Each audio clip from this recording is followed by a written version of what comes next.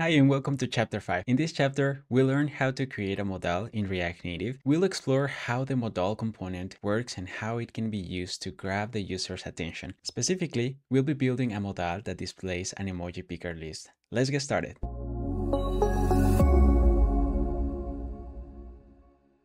To add the logic of the modal, the first thing that I want to do is create a new state variable that is going to allow me to track either if I want to show the options to the user or not. So once the user selects an image, I don't want to keep showing the choose photo button again, right? So let's go ahead and after the user selects the image, let's set the variable set show app options equal to true. Let's go down here and validate based on this variable. So if the show options variable is true, then I want to show the view that we are going to create in a moment. So for now, I'll just put a placeholder view and we can just close this tag like this because we don't have anything in this view yet. Uh, otherwise, I want to add everything that I have in here. So let's go ahead and wrap this view. And if I hit save, uh, you can see that we are able to see the choose button because I haven't selected an image yet. Now, if the user decides to use the photo that we have as a placeholder, uh, we can simply hide this or adding an onPress event to this button and say set show app options equal to true. Okay, now let's test this out. I'll use this photo and now the buttons go away because we enter into this validation and we are displaying just an empty view. Now we don't want to be displaying this empty view, right? So let's go ahead and create some components to display it instead of this empty view. In my folder components, I'll create a circle button component.tsx and I'll go ahead and paste the example code. Let's analyze this code together.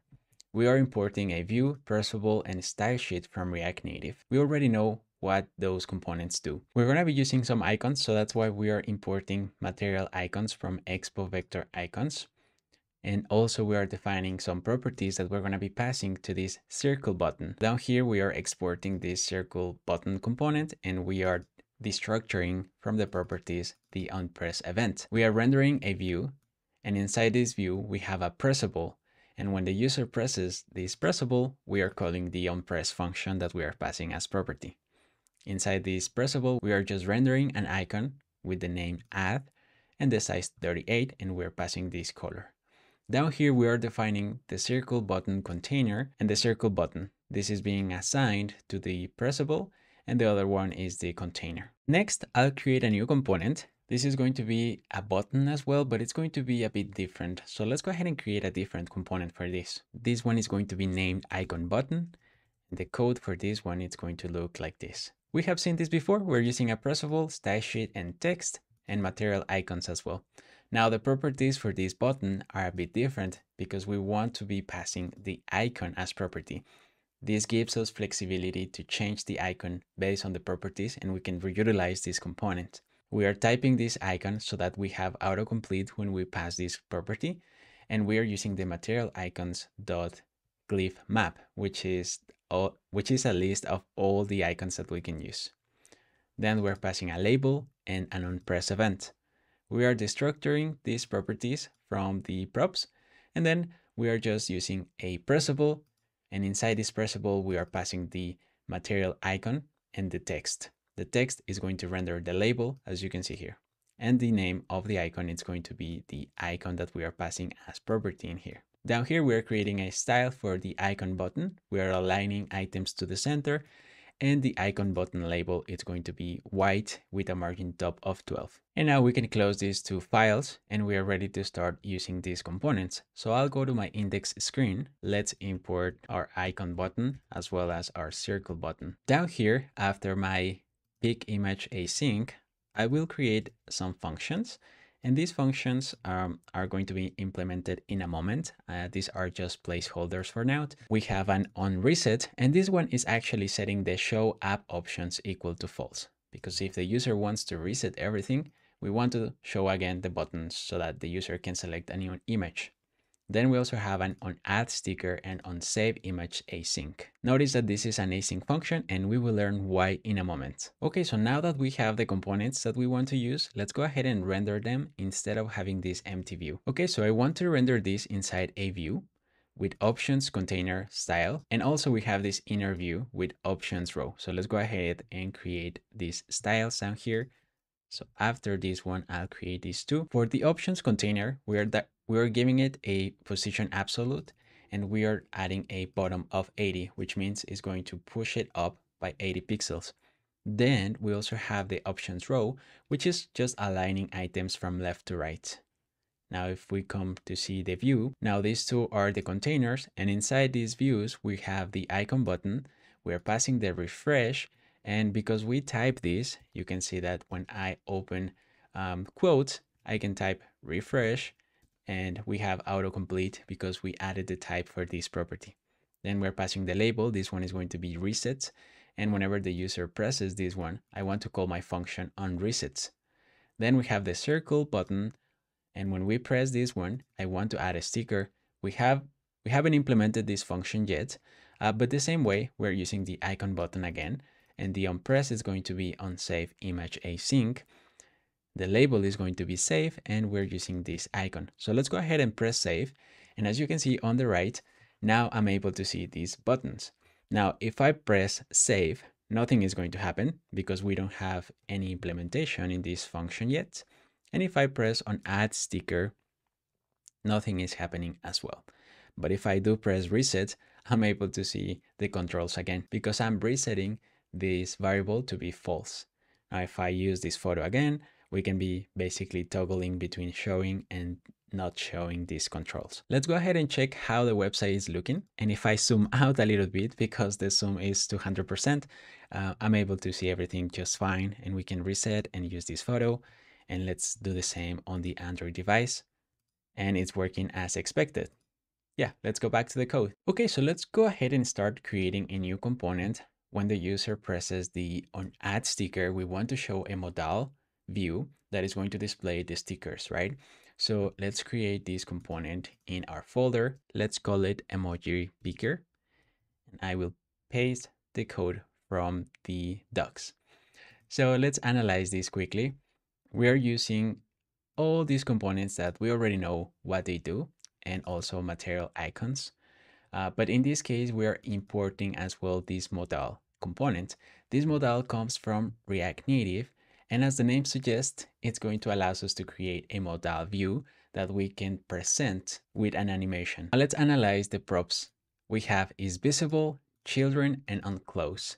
Is visible is a boolean that is going to let know this modal view either if we should show it or not.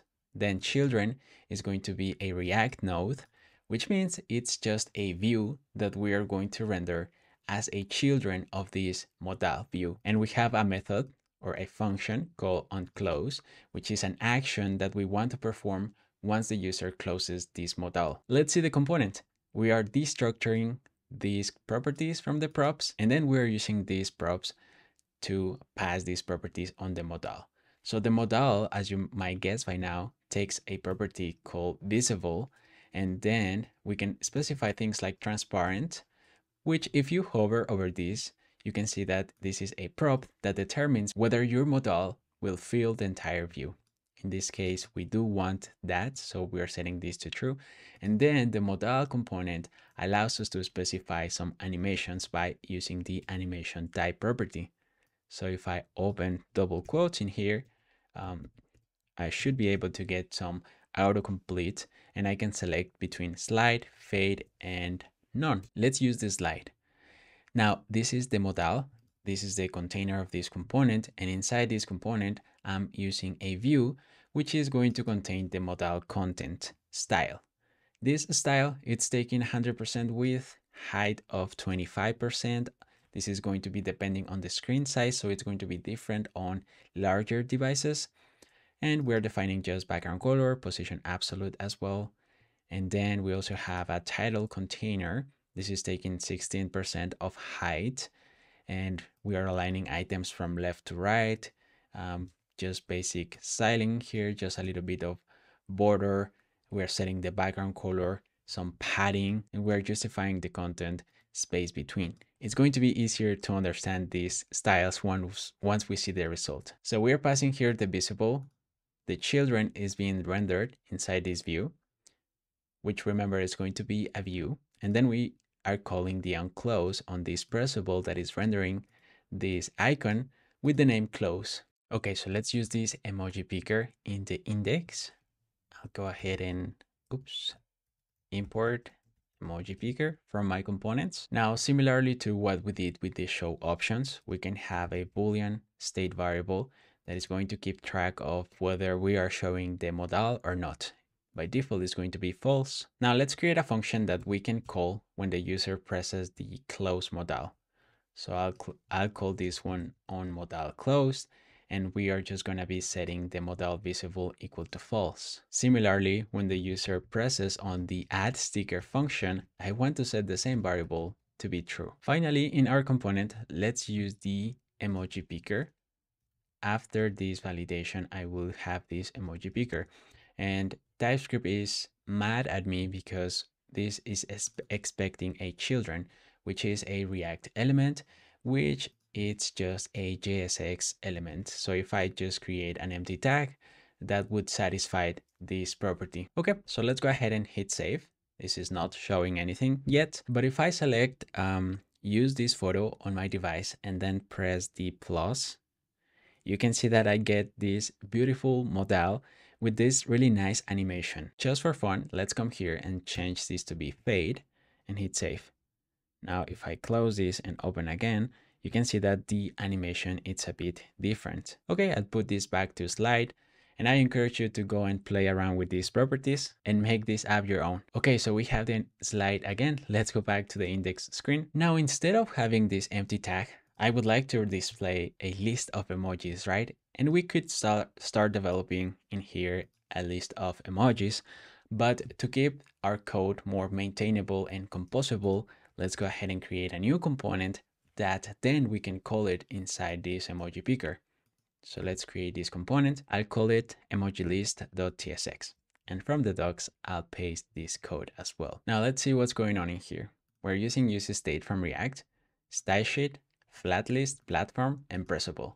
Now a couple new things here, flatlist and platform. We will learn more about those in a moment, but the flatlist allows us to display a list of elements and platform it's a module that comes from React Native, as you can see here. And this platform allows us to apply specific logic or components depending on the platform that this application is running, either iOS, web, or Android. This component will get two properties, onSelect method and onClose modal. Now this is just a function that is not getting anything as parameter, but onSelect is actually going to get an image as a parameter. So we are typing this image parameter as a string. This means that when we use this onSelect property with this component, we need to pass the image, which is going to be a string. Then we are defining the component emoji list. We are destructuring these two methods from the properties, and then we are defining a list of emojis we are grabbing these emojis from our assets. If you remember, we have these assets in here, and each one of these required is referencing these emojis. We are saving this array of emojis into this variable emoji. And finally, we are returning a flat list. So as I mentioned before, FlatList is a component that comes with React Native that allows us to display a list of elements. You can specify many properties on FlatList and you can learn more in the React Native documentation about this component. But for example, we are defining here horizontal, which is going to render the items next to each other horizontally. Then we're also defining shows horizontal scroll indicator. This is going to be based on the platform. And if we are running this application on web, then I do want this to be true. Otherwise, if I'm running this on Android or iOS, I want this to be false. Then flatlist requires data, which is going to be an array of items. In this case, the items are going to be emojis. We are defining a content container style for this list. And this style is going to be this one that you can see down here. Flatlist comes with a render item property. And this render item property, it's a function. As you can see here, this is an arrow function that is going to get the item that the list is iterating over. So this means that this is going to be a string and then an index. We're grabbing this from flatlist and then we're rendering the component for each item. So for each item, we want to have a pressable and this pressable is going to render an image and the source is going to be the current item that we are iterating on.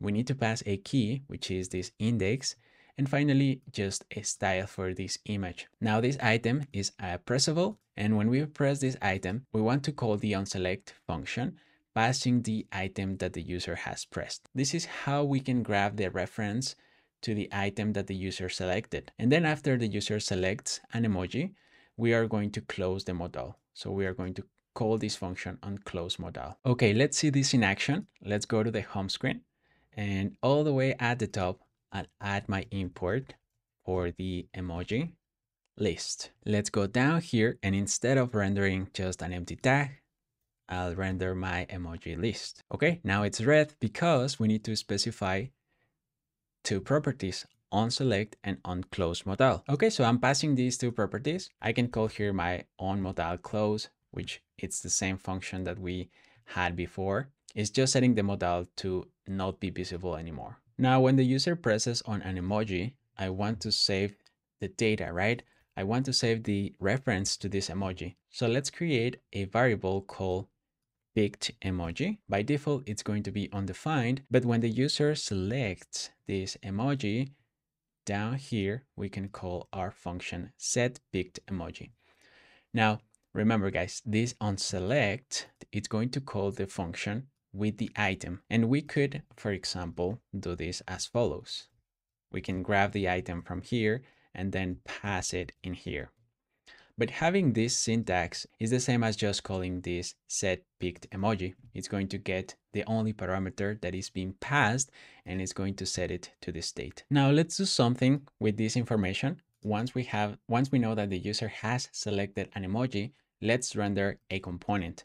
So let's create a new component. This one is going to be the emoji sticker. So in here, we can simply create a simple component and this component is going to get the image size, and the sticker source. We are using again Expo image to render the sticker. Notice that we are adding a top of 350 here. And inside this view, we are rendering the image, passing the source, which is going to be the sticker that we're going to be passing as property. And the style is going to be the image size that we are passing as well as property. So let's use this component in here. Okay, so I want to render this on top of the image.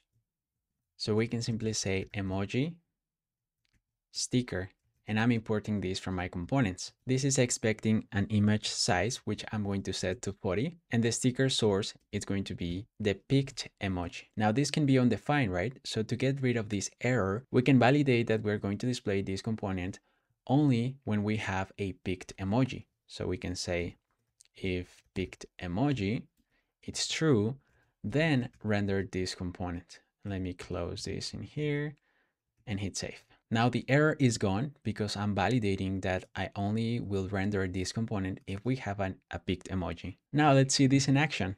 I'll use this photo and then I'll press add. Now I'm able to see the list of emojis and because this is a flat list that is rendered horizontally, which is this one right here, I can scroll left and right and see these emojis. Once I select one, I'll select the rainbow. We can see the rainbow because I set it this variable once I selected, right? So this means that the reference of this emoji is being passed to the component emoji sticker and I can see it on screen. Awesome job! Now you learn how to create a modal in React Native and how to use it to display an emoji picker list. Modals are great for highlighting key actions and you are ready to start implementing them in your apps. I hope you like this chapter and I'll see you in the next one.